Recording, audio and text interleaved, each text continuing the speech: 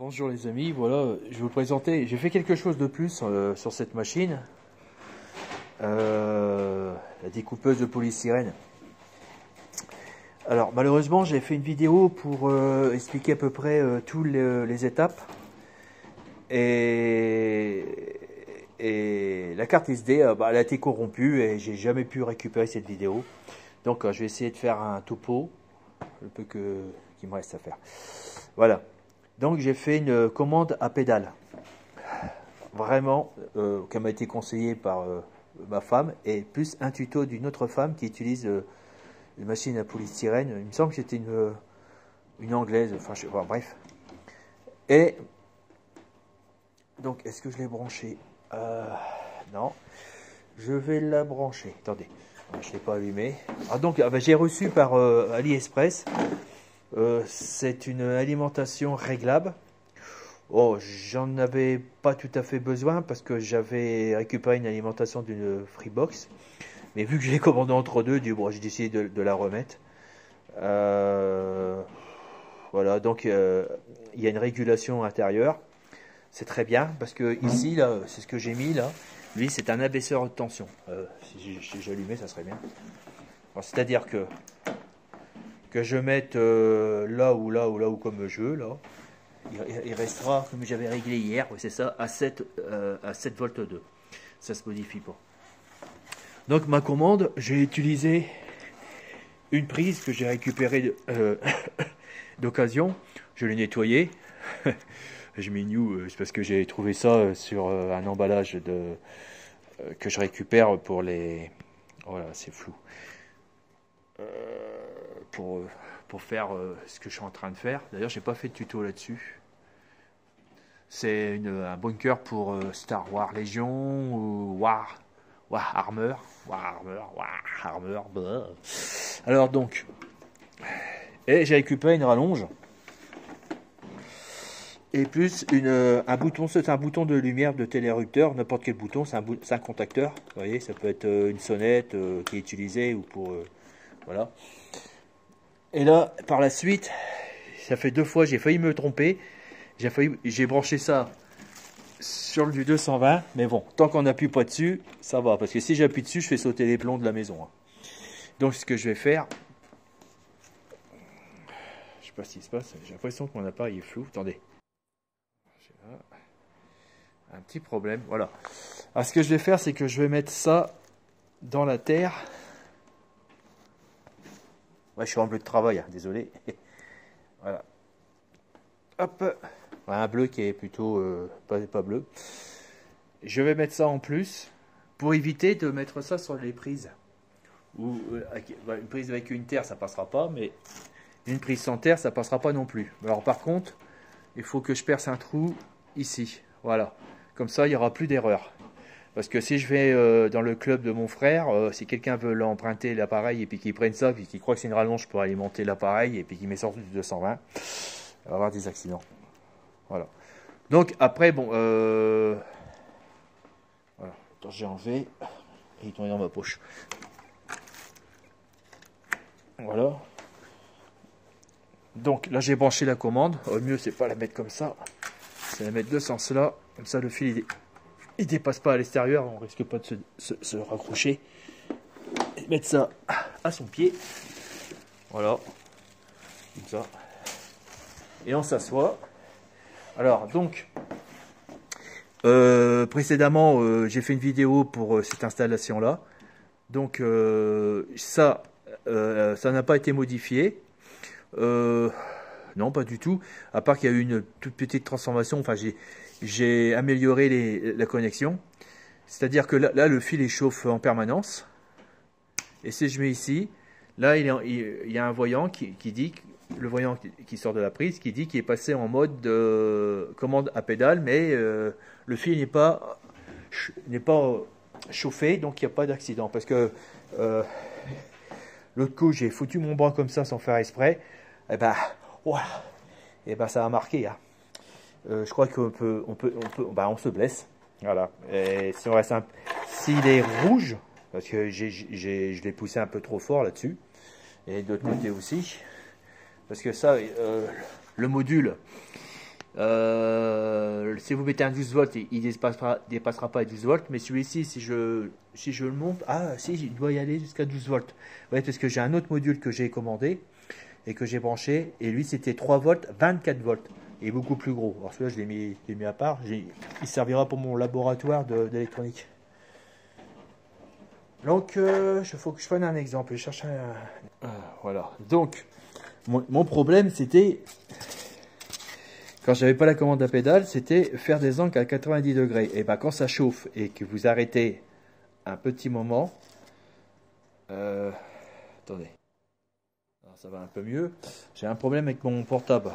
Alors, euh, quand vous, alors, quand vous découpez avec le fil chaud, puis vous, vous arrêtez un moment pour passer par là, euh, ce qui produisait, c'est que ici ça fondait, ça faisait un rond. Alors donc, euh, vous, avez, vous effacez les angles. Les angles, ils étaient tous arrondis. Alors, c'est pas terrible. Après, bon, c'est un coup à prendre avec la pédale, hein, parce que j'ai tendance à rester appuyé et puis pas lâcher la pédale. Et puis, alors là, le résultat est le même. Donc, là, je vais vous faire un essai. Vous allez voir le, les gros avantages. Voilà, ici, alors, pour l'instant, c'est pas chaud. Dès que j'appuie, ça va chauffer vite. Là, ça chauffe. Voilà. Voilà, on fait ça. Et dès le moment que j'arrête ici, tac, je lâche, je lâche. Et là, vous voyez, là, j'ai quand même, j'ai mis un peu trop fort. Il faudra que je descende un peu, parce que je vois que, on voit que c'est trop fort. Regardez, c'est large. Et si euh, la, fente est large, c'est parce qu'il est trop puissant. On va le baisser à 6. Ah, 6, j'ai dit. Alors pourquoi je le mets à 6 aussi? Déjà d'une, c'est que il faut apprendre à, à maîtriser la, la matière. C'est que ça, c'est du polystyrène. Il est, euh, vous le sentez, il est, très fin. La densité du polystyrène, euh, il y a beaucoup moins de polystyrène et comment je peux dire ça Il est beaucoup plus soufflé. Et il y en a certains, attends, à celui-ci, l'intensité, il est beaucoup plus dur. On le sent bien. Et il y en a encore qui sont encore plus, beaucoup plus durs. Et, donc, euh, forcément, vous êtes obligé d'augmenter euh, le voltage. Et quand vous augmentez le voltage, vous augmentez aussi l'intensité, l'ampérage. Donc là, je suis arrêté, il n'y a plus de danger, regardez. Maintenant, je peux tourner. Avant, je ne pouvais pas le faire, ça. Alors, j'ai mis à 6, ça va aller mieux. Hop. J'appuie sur la pédale euh, par mon pied. Attends, voilà. Si j'appuie à côté, ça ira pas. Voilà, vous voyez, c'est mieux là. On lâche. On tourne. Et vous voyez là, vous voyez la fente, elle est beaucoup moins, moins large. Euh, donc c'est à, rechercher, euh, euh, à rechercher que ce soit le, plus fin possible, voyez. après, si c'est trop fin, par derrière, ça recolle. Hop, on appuie sur la pédale. Voilà. J'ai pas les bonnes lunettes, je suis désolé. Ce matin, ce matin, je sais pas, j'ai une vision de brun. Voilà, regardez. C'est génial, vous tournez. Alors imaginez que c'est constamment chaud, vous pouvez pas faire ça. À chaque fois, euh, si j'avais envie de tourner, bah, le fil il part par là, comme ça et comme ça, et puis votre pièce elle est foutue quoi. Alors, laissez, j'ai changé mes lunettes. Et oui, c'est les joies du vieillissement. On n'a rien à gagner. Voilà. Ah bah là, attendez, je vais, appuyer un tout petit peu pour me mettre... Euh, hop, j'appuie. Hop, voilà, je relâche. Là, je suis bien en face. C'est parti. Là, je m'y prends mal, je relâche. Ça va pas. Je recommence. Ça, c'est vraiment l'avantage hein, de la pédale. C'est que ça évite de faire des grosses bêtises. Hop, voilà. Là, j'ai relâché. Un temps de réflexion. Impeccable. Euh, le fil est bien réglé. voyez? C'est important de bien régler hein, l'intensité. Hein. Hop, on relâche. Ah là là. Vous avez vu, ça a basculé. Quand je dis relâche, il faut pas que je relâche ma main aussi. bon, hop c'est pas bon. Le basculage, le, basculement, c'est pas bon parce que de ce fait, le fil, il a, il a grignoté, mais en biais. Après, il y a un autre truc aussi qu'il faut que je vous dise. il faut pas, il faut, il faut euh, avancer le polystyrène, euh, mais éviter de, de pousser le fil, voyez Parce que si vous poussez le fil, euh, la pièce va être bien au-dessus, mais en dessous, vous allez faire des, des biais de partout, et c'est pas recherché. Ce qu'on veut, nous, c'est une coupe bien droite. aussi, pensez mettre une équerre ici, ici, pour que le fil soit bien à 90 degrés. Hop, alors attendez, on appuie. Voilà. Attends, oulala. Là, on va le tirer là. Voilà, puis on laisse le fil travailler. Et on lâche. Et regardez-moi ça. Comme promis, vous avez des arêtes à 90 degrés, même plus, celui-là, celle-là. Regardez les arêtes. C'est formidable. Alors, il y a une autre astuce pour éviter ces genres, de choses. Vous savez, là, les, les petits coups de fil, là, vous voyez. Là, on le voit bien. Voilà. Tac, tac, tac, tac. C'est faire un, gabarit en carton. Ça, je vous ferai voir. Et là, après, vous suivez. Alors, le gabarit euh, carton, il y, a, un petit problème, c'est que, le, gabarit, il faut pas qu'il pousse euh, le fil. Alors, il faut vraiment que vous soyez à, ras du gabarit, mais sans, pousser dessus. Parce que si vous poussez, regardez. voyez? Donc, la coupe, elle elle pas, elle, sera pas droite. Voilà. Après, aussi, faut, vous, pouvez tendre le fil pour que ça soit le... qu'il fasse moins cet effet-là. Mais bon, on ne pas tendre tant que ça parce que si c'est trop tendu, euh, si c'est trop tendu, euh, ça risque de casser quand ça chauffe. Parce que quand vous le faites chauffer, bon là, c'est, le, chauffage est très faible, il y, a, moins de risques. Mais si vous chauffez plus fort et puis que c'est, super tendu, ben le fil il s'allonge et à force, il finit par péter. Bon, de toute façon, il finira par casser. Hein. C'est pour ça qu'ils ont mis une bobine de réserve. Euh, par la suite aussi, je, ferai un, système ici pour qu'on décroche le fil ici, avec un crochet de décrochage, pour euh, faire une pièce au milieu, sans, sans, y aller là, sans de, commencer, commencer, avec le fil et partir là, mais plutôt faire un petit trou, passer le fil, passer le fil dans, dans la pièce qui a été dessinée pour faire le contour. Voilà, ça je, euh, c'est en projet, j'ai déjà fait des dessins. Bon, voilà. Bon, euh, malheureusement, je ne sais pas si je peux vous faire voir.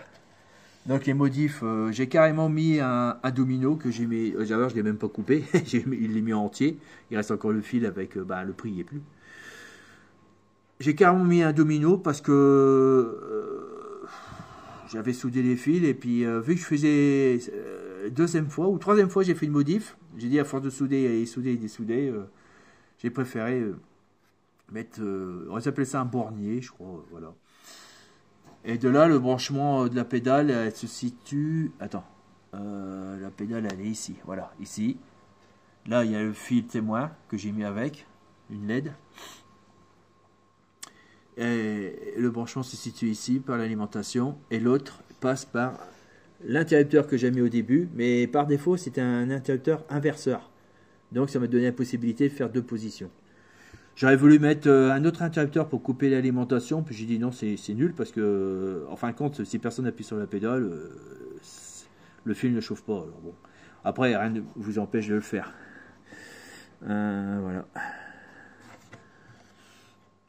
Alors, euh, si vous êtes intéressé par commentaire, bah, demandez-moi, demandez-moi, et je vous donnerai euh, le schéma de branchement euh, bah, de tout, quoi. Mais bon, alors c'est pas un branchement, c'est un branchement basique en, électricité. Hein, l'électronique est, vous l'avez des beaucoup de tutos sur, sur YouTube. Le branchement de l'électronique est vraiment très simple. Hein. Il y a une entrée l'alimentation et la sortie. À part que moi, il n'y avait, y avait pas de, de potentiomètre. Je l'ai rajouté.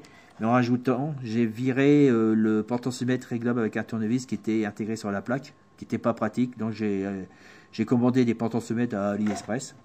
C'est pas trop cher, ça va. j'ai commandé une boîte carrément. Comme ça, je suis tranquille.